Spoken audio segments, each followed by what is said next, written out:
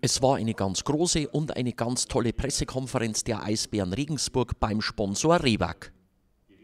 Viele gute Nachrichten aus dem Lager der Eisbären Regensburg. Bei mir ist jetzt der Hauptgesellschafter Christian Volkmar. Christian, das war ein großer Tag für die Eisbären.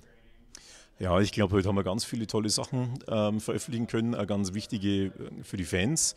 Ähm, neben der ähm, tollen Spielerverpflichtung ging es heute auch darum, dass die Rewag ihr Engagement nicht nur verlängert, sondern auch deutlich verstärkt hat. Also ist nochmal eine äh, deutliche Erhöhung ähm, hat stattgefunden. Das freut uns besonders, dass wir solche Sponsoren haben, die uns also eigentlich immer auch über die letzten Jahre hinweg die Stange gehalten haben und auch honorieren, dass wir uns in eine richtige Richtung entwickeln und auch die tolle letzte DL2-Saison mit einer Erhöhung, das ist eine ganz gute Nachricht. Das freut uns besonders. Ähm, darüber hinaus haben wir heute darüber berichten können, dass es äh, ab der neuen Saison jetzt eine Fanzone im Außenbereich gibt.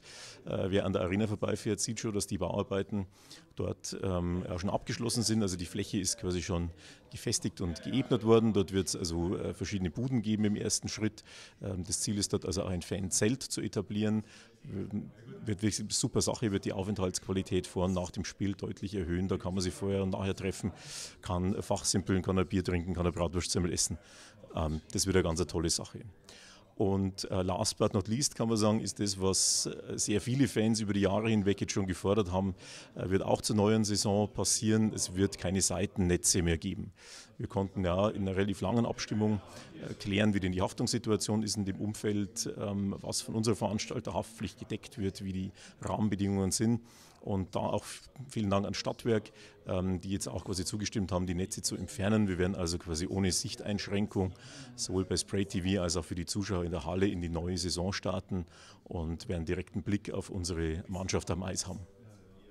Und dann gab es natürlich noch die gute Nachricht, ein neuer Spieler ist da, Andrew Jogan. So sieht er aus, unser neuer Spieler Andrew Jogan. Und ich habe ihn natürlich gefragt, warum kommt er nach Regensburg? Oh yeah, one of the reasons I chose to come to Regensburg is when I talked to the head coach and the president, they had a lot of uh, positive messages about what they want to do with the club moving forward, and uh, I felt like I really wanted to be a part of that.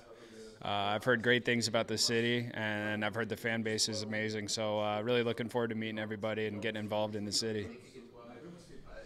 Andrew hat eine tolle Vita. Überall, wo er war, war er einer der stärksten Spieler. Wir dürfen uns auf eine tolle Saison freuen. Das war's von der Pressekonferenz der Eisbären beim Sponsor Rewag Armin Wolf für Eisbären TV.